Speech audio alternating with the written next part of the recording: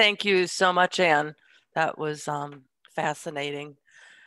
Um, I'd just like to remind everybody that if you click that stop video button, which everybody's doing really good with, that'll keep this next segment in particular running smoothly for us because it takes a little bit of bandwidth.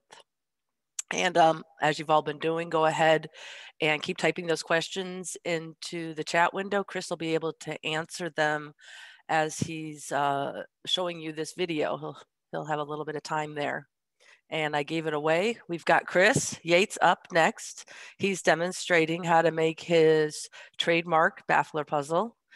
It's an absolutely action-packed pre-recorded presentation. I've gone ahead and seen it. And he's describing his art process from start to finish. He might be crazy for sharing his trademark secrets, um, or maybe just crazy enough. You be the judge on that. And as a reminder, just keep those questions coming. You ready, guys? All right, Deb, thanks so much for the uh, wonderful intro. I am Chris Yates. I make the Baffler puzzles. Um, and I've got a wonderful presentation for you. It is pre-recorded for reasons that you will quickly ascertain. And we're just going to get uh, started with it. I, we've done our best to make this as uh, compressed and as nice looking as possible.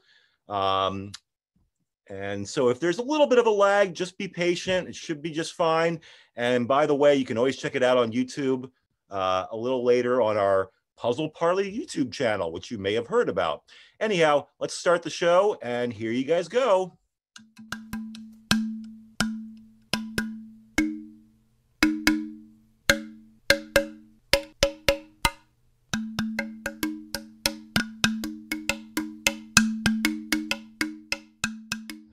How's it going? I'm Chris Yates. I make the Baffler puzzles. I'm coming in today from sunny Ocean City, New Jersey, and I'm going to show you how I make these puzzles.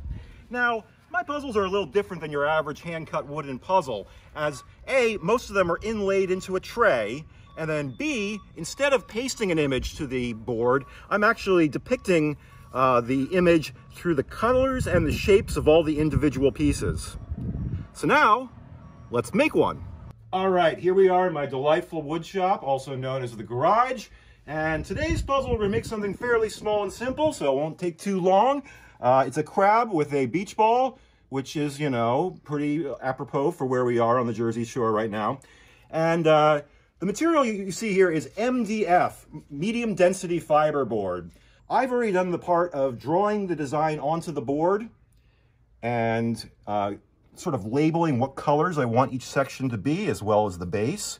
And then I've roughed out the board. This is quarter inch, this is half inch. The half inch piece is a little bit bigger than the quarter inch because this is gonna comprise the base. All right, here we are on my saw. This is a DeWalt 788. Uh, I know a lot of you guys, if you're out there cutting puzzles, you may have seen these or used these on a regular basis. I highly recommend them.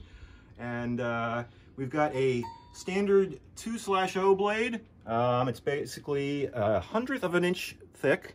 It's got 28 tiny little teeth on it, all facing down. And this allows me to get really super nice intricate cuts and uh, also keep the kerf, you know, the area you're taking away with the blade on, of the wood um, to be as small as possible so your puzzle fits back together nice and cleanly. Okay, so let's get started. Um, I cut at a relatively slow speed. Um, this allows me to have more control. And right now what we're doing is we're separating the base layer from the piece mass.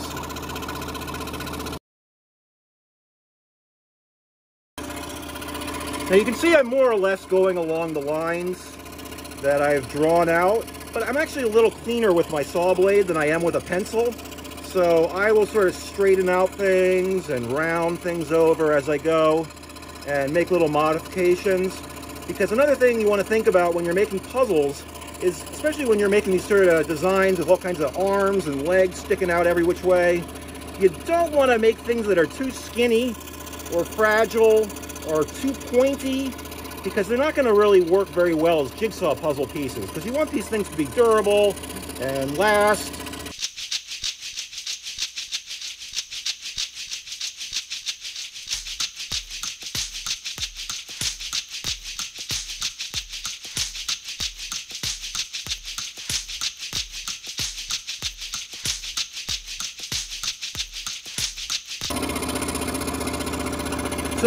can see that I'm doing here is I'm pretty much keeping the, the piece moving at the same rate. And I'm not, you know, I am making some pretty quick pivots with my hands, but I'm trying not to make any super sudden moves. And this allows you to get a nice smooth cut rate and nice flowing lines. So you sort of start and stop a lot um, and, you know, turn the machine off mid-cut. It's going to sort of ruin the rhythm of what you're doing and not give you as clean lines and you may get little, um, you know, flaws like, uh, you know, the blade skipping around here and there. You generally don't want flaws in your puzzles. All right, the legs. This is the fun part. Get a little bit more exercise doing the legs.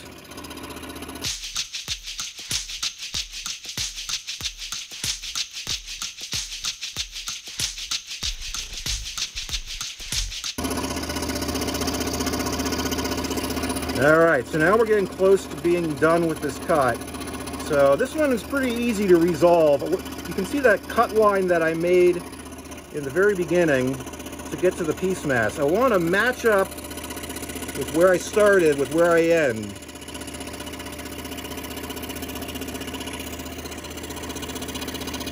So you want to sort of think about where that, that corner is going to be and you want to try to hit that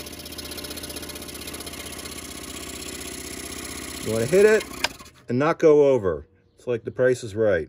Okay, so we have our piece mass, which is the crab, and we have the base layer over here. Um, now this is a jeweler's file. It's a, I don't know, what's like a 600 or something like that. I got this years and years ago, I forget. There's going to be a little burr usually at the very end of your cuts. So what I do is just briefly do a little bit of that. You don't need to sand it. You just need to you know, take off that little tiny burr that you're going to get at the end of the MDF, and that makes it look a little cleaner. So we still have one thing to cut out before we can say goodbye to our base layer for a little bit, and that is the beach ball.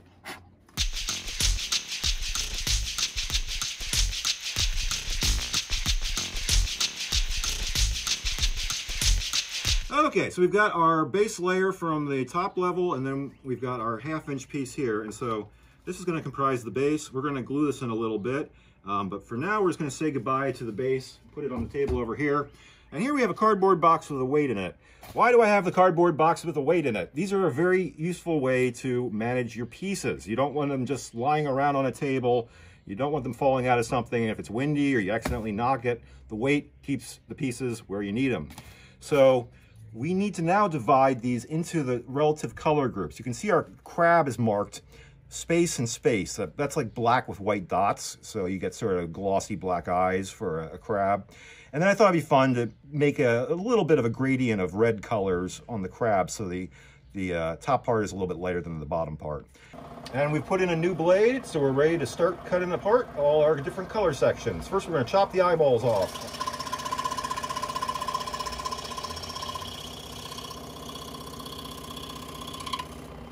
You can also see that I slow down a little bit near the very end of the cut, and that helps make it a little bit, a clean, little bit cleaner. I'm also using this file again at the end of every cut, so that sort of helps clean off the burr a little bit.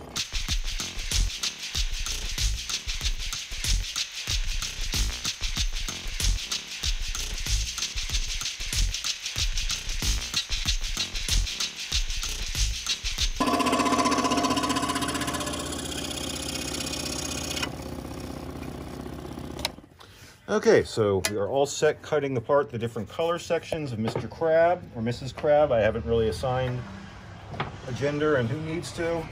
Okay, we just got to cut the beach ball. And okay, so this has got a little bit of an issue here. So these, this would be a possibly a, a sort of a pointy area if I resolve this the way I drew it. So I'm going to sort of, I'm going to cheat a little bit and I'm going to come in basically perpendicular to where the, the edge is. And then I will shift, so as I get in a little bit, and I'll shift around a little bit. You see what I did there? So this preserves the look that I want with this curve, but it, it helps make the edges a little cleaner and not as fragile as, as I'm talk, talking about. You don't want those little pointy bits, but you want it to look like a beach ball. All right, welcome to the painting zone. Here we have my super professional setup where I basically have more pieces of MDF on top of trash cans with weights. Um, this allows you to sort of change out tables and flip them over and um, move them back and forth. Um, works for me. So we've got our box of pieces over here, and here are our basic colors we're going to be using. This is not the final paint job by any means. This is what we call color coding, where there's two basic things we're trying to do here. We're going to indicate which side of the piece is up. We're also going to indicate which section of the puzzle the pieces belong to. Now you could do this by just writing in pencil on top of every single piece you make, but that gets a little tedious, especially if you're making a big puzzle. Uh, I usually do wear this mask when I'm cutting and sanding, but I've been a little lax because I'm talking to you today and I've got lots of important things to tell you. But you do definitely want to wear this when you're spray painting. Um, it's, it's not a good idea to spray paint without a mask. Okay,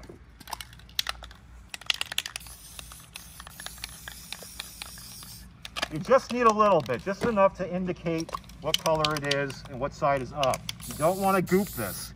See my shirt? No gooping. All right, so these are our sort of light to dark red colors. I'm using a little bit of an orangey red at the top, and then I'm doing a little bit of an aubergine at the bottom part of this color gamut. Um, a color gamut, um, is, I'm going to reference this word a bunch, is basically, you know, a small range of colors or a broad range of colors. And a lot, with a lot of my work, I sort of move through color gamuts. We'll talk a little bit more about that when we get to the final painting stage. So our eyeballs are going to be black. And then we've got our beach ball parts. You may be asking yourself, Chris, you're only using Rust-Oleum? pretty much 99% of the paint I like to use is the Rust-Oleum Ultra Cover. You can get this at Home Depot. Um, it's, it's, it's great for what I do. It's got great consistency through all the different colors, satin, semi-gloss, gloss. Um, there's, you know, good, you know, 80 standard colors, and you can find some other ones here and there. I do use Krylon occasionally, because um, they've got some good shades, but it's a little, little thin. Valspar has terrible caps. And you really don't want to use the graffiti paint um, like Montana and stuff like that because A, it's really expensive and B, it's really thick because it's made for, you know, for walls. And that's just going to make your pieces not fit back together. Now we're going to let these dry for a little while, uh, you know, just like 10 minutes or so. You don't want to be too sticky and when you're uh, cutting them apart. So now we've got our top level and our bottom level. But look at this. Oh my gosh burrs on the bottom. So we went take our palm sander and clean these off real quick. And then I also just do a quick run with the palm sander on the top surface of the half inch layer. So here we have a Ryobi palm sander, not very fancy, but it's a palm sander. You know, you, you don't need to buy a super expensive palm sander. This one's fairly light. If you're holding a sander for an hour a day, like I often do, you don't want a really heavy sander either. Um, if you don't have a palm sander, you can just use sandpaper. It may not give you quite as clean a finish, but it'll still work. That's really all you need. I'm just, I don't want to take the finish off this wood, so I just wanted to clean it up in case there was a little bit of rough edges on there. And then with this guy, we're going to be a little bit more thorough.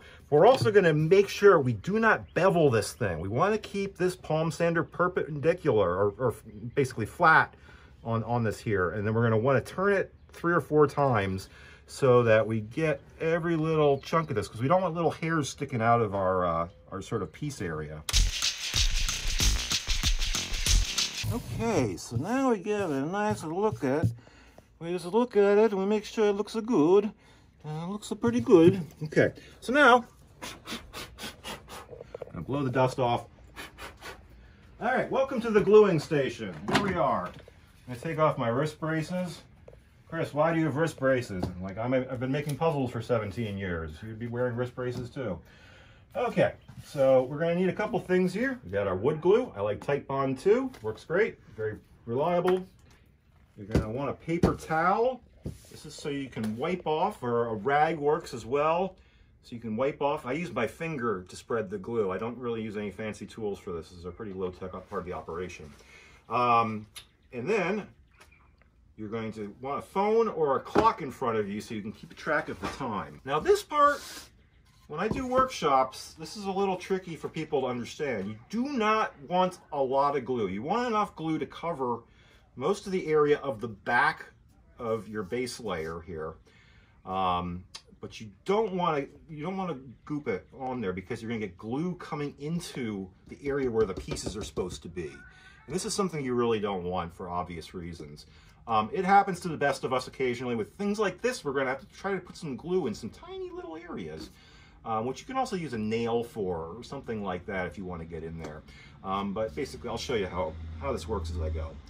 So I'm just going to run a pretty thin bead around this puzzle. A little bit of a tricky one. That's too much glue already. Now, I'm not even going to put any glue in that section. I'm just going to take some glue from somewhere else and just put a little dab of it in these little areas. Okay, so the other thing you got to keep in mind is you do not want to get the glue too close to where the pieces are going. It's okay for the glue to go to the very edge because it's going to get cut off. We're basically going to cut a common edge once this gets glued to the half inch piece. And you want to work pretty fast, but you want to do this carefully. You've only usually got a couple minutes before it starts to get a little tacky. Um, this does set up completely, in, well, it sets up to be able to work in 30 minutes. Its full strength is achieved in 24 hours, but generally a little bit after 30 minutes of putting your glue down, you can start cutting it again. Okay, so we've taken note of the time. It's 1243. All right, I'm gonna flip it over. Make sure there's no dust on there, and boom. So, 1243. We wanna wait, we wanna be the human clamp for six minutes for this guy. Why don't you just let it be or put it in the clamps now? Um, the glue is going to still be a little viscous at this beginning point. It's going to it's to sort of tack up in the next six minutes or so. And so I want to basically make sure this thing doesn't skate around too much. I want to push down with pressure and push down the various areas where the glue is. Um, but I don't want this thing to be starting to skate left or right or any which way because then the glue will smear into your piece area. Uh, again, you don't want that to happen. Gluing, um, like many things in puzzle making, is sort of tedious, but it's a uh, necessary part of the procedure. So now we go over to our clamping jig. These are little devices that I've made in various sizes, so you can easily sandwich your puzzle base and then use clamps in the four corners, sometimes more for the larger jigs, to easily keep your puzzle under pressure while the glue is finishing setting up. This I recommend doing as it'll give you a nice clean look and you won't get any gaps between your boards and it'll look like one nice solid piece, which is what you want. But meanwhile, we've got our pieces over here, which are pretty much dry and ready to be cut apart a little bit more. Now, obviously, the beach ball and the crab eyeballs do not need to be cut down any further into puzzle pieces as they are more or less puzzle piece size. Um, but, you know, obviously we're going to split these up a little bit and we're going to try to use some interesting joinery where possible. Joinery are all those sort of knobs and squiggly bits that, that make the uh, pieces fit together. Um, and I have a wide variety of them I like to use. It's going to be a little tricky with some of these because they are pretty skinny little areas. Um, so I'm going to keep the joinery fairly simple. So, all right, we're back over here on our saw with our 2O blade. And first I'm just gonna, let's see, where am I gonna cut here? I'm gonna make a, a little flat.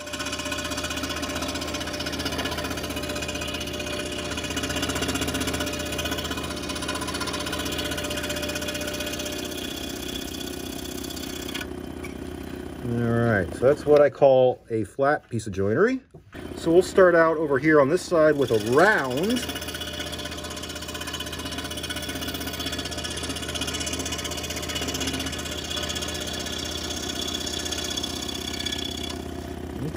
let's do a little Y.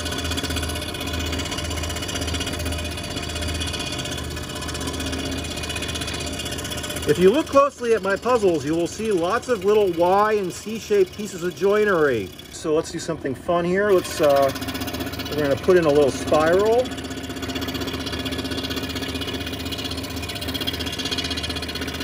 No, but we're gonna make it a spiral with sort of a flat exterior, and then we're going to do a little, a little round thing sticking out.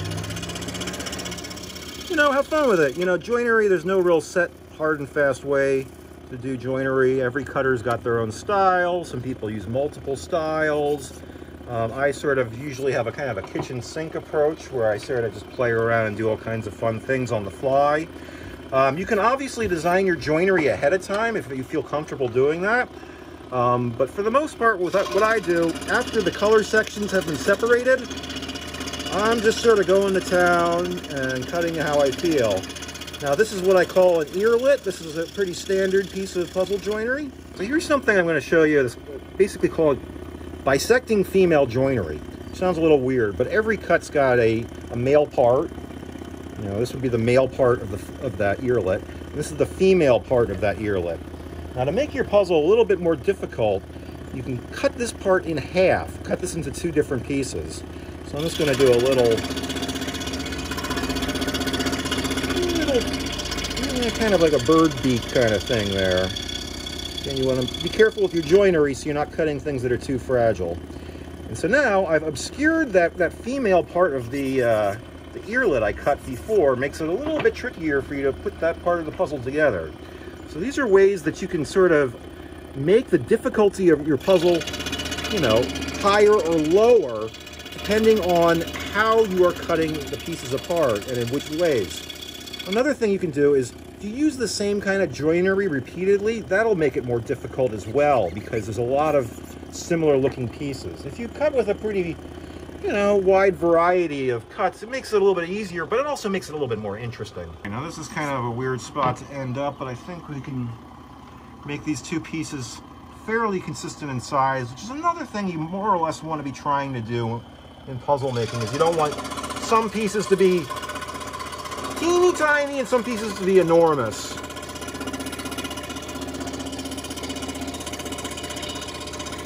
All right, so we made a sort of little hammer shape there. Not exactly, but it's pretty close to my hammer. All right, and your piece cutting is complete for the crab. And are you guys ready for what happens next? This is so exciting. I told you guys it's gonna be fun. We're gonna be sanding the pieces. It's gonna be so much fun. I carefully hold the pieces in my other hand. Now again, this is where kind of long fingernails come in handy because it sort of protects your fingertips from getting sanded off. Um, this is this can be kind of tedious and a little bit uncomfortable, but it's a necessary step in what we're doing here. Um, so I'm using 220 grit sandpaper. You just want to zap it for a couple seconds on each side. You know, you, you flip it over. You want to sand both the front and the back. Um, but you don't want to take off too much material. You just want to take off any possible burrs. Okay, you guys ready?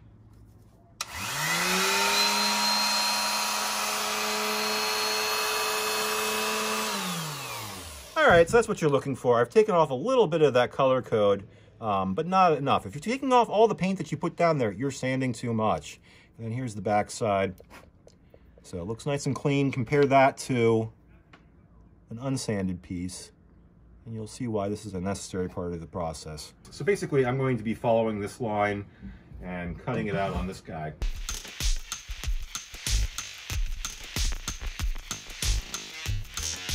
Okay, hello again. Um, so you can see I've completed my cut here of the crab. We're to knock some of the sawdust out by flipping it over. And we'll just sort of give it a little bit of an inspection. Looks pretty good. That looks much better. Look at that. Nice clean edge. Nice clean back. All right, so we're ready to paint. All right, so the painting has begun. Um, I just put the primer on these pieces. Putting the primer on isn't that exciting, so I figure well, I'll show you more in detail when we actually put the second coat of paint on. We're doing three coats of paint, three nice, even, light coats of paint on your pieces. We start with the primer, and then we move on with the second and third coats to the colors. Here are our main colors we're using for the crab today. So basically, this first table is the lightest part of the crab, sort of the, the claws on the top.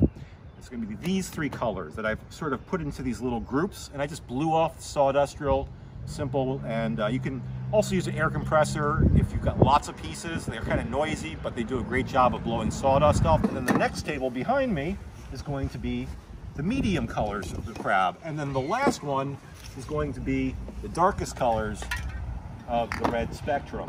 Why use primer? This is a question people ask because often these spray paint brands will say it's paint and primer, or a lot of different kind of paint that does this.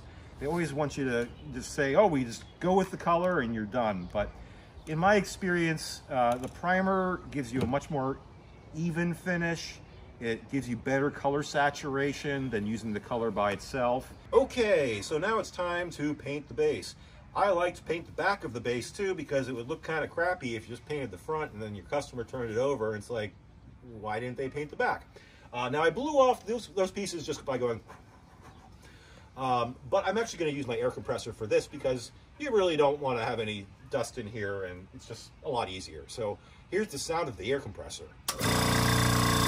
We're going to try to do a sea to sky kind of thing here where the bottom is going to be a little bit more of this color with a little bit of a darker blue, and then the sky is going to be sort of lighter blues, you know, try to do a little bit of a fade. So again, I'm sort of gonna dance around this. I don't wanna spend too long in any one place because you don't want the paint to build up unevenly. So this takes some practice. You just gotta, you know, always go with lighter coats than you think you need rather than gooping it on. Um, with the back, I just do one coat because generally you don't really look at it very often, um, but you do want to, you know, make it look nice.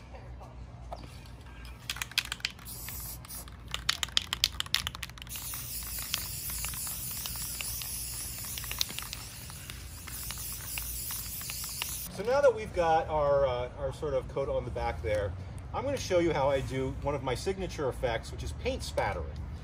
Um, so now this is basically when you're intentionally clogging the nozzle of the can, or the cap, by sort of pressing it down about halfway, and it'll start spitting out little drops of paint like this. See that? So this is basically how you can blend different colors together to get interesting mixes between them and again, this is a, a, way to sort of work around the fact that you've got a limited amount of colors from the spray paint manufacturer. So as I said, I'm going to try to do a little bit of a fade on this one. So I'm doing droplets, but I'm trying to do it mostly, this is the darker blue, so I'm doing mostly droplets at the bottom. There are certain colors of spray paint that you can find more uh, hues of than others, like blues or blues and greens for some reason, uh, nature maybe. What's, what's not to like about blue? It's very so many great blues out there. All right, so I'm doing a little bit lighter stuff and trying to do a little bit more on the top than the bottom, but still make a little bit of a gradient effect. This is the very lightest blue, so I'm doing this mostly just on the tippy top. Yep, that's, that's enough. So uh, you know, less is more, don't go crazy. Okay, so second coat, we're done with our primer. Get rid of that. Um, and we start with these colors. So you'll sort of see my pattern here, how I mix the colors as we go down this chain of crab one, crab two, crab three.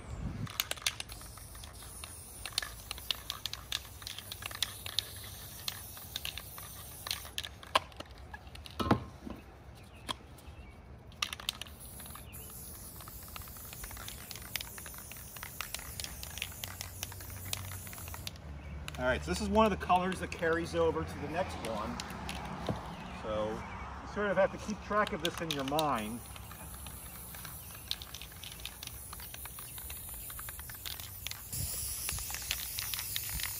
Now you can see that I'm trying to do light even coats. I want to, you know, get the top saturated. I want to get some on the edges, but not too much. You don't want to goop the paint on. So our crab part's done. Now we've just got these super easy sections. I'm just gonna do yellow, blue, white, and black on these guys.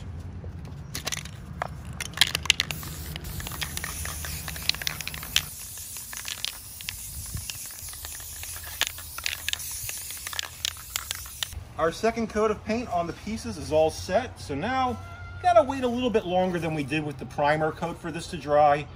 This is gonna depend a lot on your temperature and your humidity. Um, I would generally say somewhere between 20 and 40 minutes uh, usually until you put on the next coat. You want to wait till it's pretty much dry to the touch. So I've already put down the third and final coat on the pieces, and I put a initial first coat on the base that's sitting over there. Um, you guys get the idea of how I apply the paint, but I'm going to show you sort of the finishing touch, which is adding my signature paint spatter. I won't bore you with explaining exactly how I mix all these colors together, um, but suffice it to say, the main idea is to try to make a nice little variety of uh, blends of color within each of your color gamuts. All right, let's do this.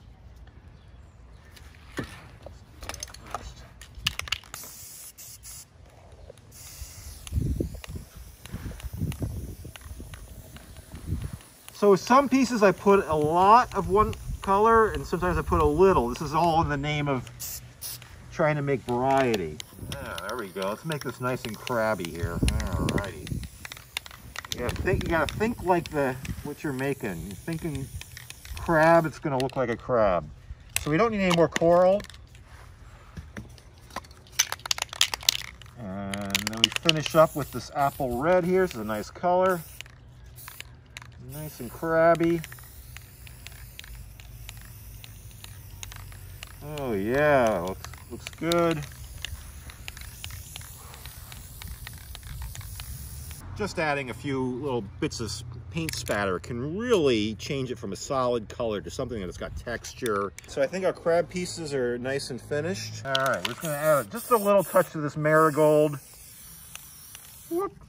Just enough to give it a little bit of, don't need to go too crazy with it. Happy little dots, right? Like Bob Ross says, right? Happy little dots. Just a little touch of it. There. Oh, well, that's fine. Oh, oh, a little bit more. All right, look at that. There's my crab eyes. A little bit of white in there to make it look like they're sort of glossy and reflective. Kind of cool, huh? Um, all right, so our pieces are all done. You hear my seagull friends over there. They approve of the paint job. Um, so we want to wait until they're ready to pick up. Like another like 20 to 30 minutes. But again, just be patient. Wait till they're dry. But what I do is basically just pick them up by the sides. I don't stick my finger on the top of it. I pick them up by the sides when they are ready to be picked up. Again, you can test this by just sort of tapping on areas of the table where you painted and seeing if the paint's dry enough. And then I take a piece of cardboard and put the pieces carefully on the cardboard, bring them inside, let them dry for a couple days, and then you put them back together. All right, so here we are over on the side of the lawn where we're painting the base. And uh, the first coat feels nice and dry. You can see I just did a nice light solid coat of this Oasis Blue. Now I'm gonna put another nice light even coat of Oasis Blue on it and then add all of our spatter colors just like we did on the other side.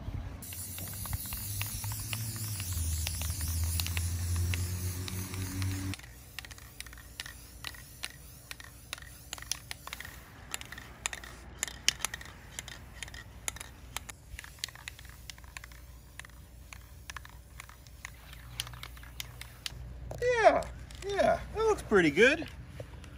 Gives a little bit of lightness at the top, a little bit of darkness at the bottom. Looks like the crab's having a nice day at the beach. And again, when this is dry, in like something like 20, 30 minutes, um, you can pick it up gently by the sides, bring it inside, somewhere that's not dusty, somewhere that's not too hot or cold. Uh, I like to put, since this has got paint on the back of it, I usually like to put some bottle caps, some clean bottle caps in a little sort of landing pad configuration. You can put puzzle on top of the bottle caps and that way most of the painted surface on the back isn't actually touching whatever table or shelf that you're storing it on. I'll see you guys in about two days, which we're magically gonna jump to in like the next 10 seconds. And two days later, our crab is all done and dry. Look at that. Here's our nice base here, painted on both sides. Nice and smooth, dry to the touch. And here's our 20 or so pieces. Um, so basically, now the puzzle is ready to be assembled. Um, the one thing I do want to note that I do here is, since we are painting our pieces um, occasionally you'll get little paint crumbs that sort of form around the edges on the bottom of these things. So when I'm putting these together, I usually just have a little piece of cardboard, uh, corrugated cardboard, and I just do what I call squishy scratchy. So I'm basically just rubbing the bottom of this on the cardboard and that'll sort of dislodge any possible paint crumbs. Now, usually I try to be as clean as possible, but you never know. So that's what it looks like pretty good, right? You can even blow it off if you want. Um, but I've already done this for all the pieces because I didn't want to bore you guys too much. So let's put it together.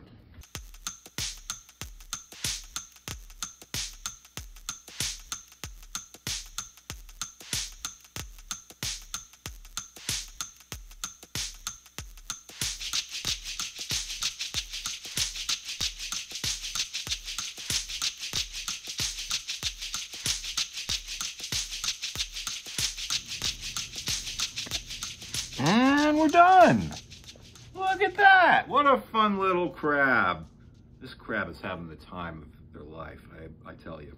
So that's it, basically. Um, that's how I make one of these puzzles. And you may be thinking to yourself, Chris, this seems like a lot of work just to make one little crab puzzle. Well, yes and no. Um, generally, if I'm making something like this, I will probably make four or five similar puzzles to it. They don't all necessarily have to be crabs, but they will often share similar colors. I'll often draw them all at the same time, so I'll paint them at the same time, sand them at the same time. So if you sort of gang them up like that, it's a much more efficient use of your time. But on the other hand, you know, anything worth doing, you know, takes some time, takes some work, takes some effort. And so I'm happy to put, you know, a lot of energy and time and into making what I do as as cool as possible, you know, because it's a jigsaw puzzle. We're supposed to have fun with it, you know. Um, I think of it as art you can play with. So, you know, it's a real fun, you know, medium to working because you're working with, you know, making something that's aesthetically pleasing and interesting as an art object, but it's also something that you can take apart and have fun with it and enjoy it with your friends and your family. So I'd like to thank everybody for watching this. Hopefully you've possibly learned something. Um, and uh, I'd really like to thank my cameraman, Ed. He's done a great job. And I'll see you guys next time.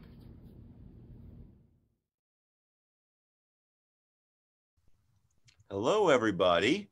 Uh, I'm going to start sharing my screen here once I submit my little poll question because I loved my I love my presentation. It was great. Um, not that I'm pressuring you guys to love it too. Um, Deb, did we have any? I, I know I was answering some questions in the chat uh, while did. we were watching that. There was um, but... one. Um, somebody, Dan, wanted to know if your process that you use means that all your puzzles are they one of a kind. Uh, yeah, pretty much by the nature of how I make these, even if I was, I often will use the same design. Like sometimes I will make like five crabs or seven cats or, you know, um, 10 puzzles for the puzzle exchange or something. And they're all a little different, but they're using the same template just because of the nature of how I make things. I don't really, um, for the most part, really plan out my individual piece cuts. Um, so that's often the most, um, you know, unique part of uh, what I'm doing is uh, just the fact that it's all handmade. And I do collaborate with uh, people who make uh, cardboard and laser cut puzzles too. So Mm-hmm. Uh, not everything is 100% handmade, but I'm also trying to get things out there at different price points. Okay, um, some more questions are coming in. This is kind of a fun one. Somebody asked, "What are the many pieces behind your shoulder?" Um, maybe the... in your workshop. Oh yeah. So when I was upstairs there, um, that's all been broken down now because I'm actually moving to Montana in six days. Um, so what you saw was sort of the last iteration of my uh, my studio here in Ocean City, New Jersey.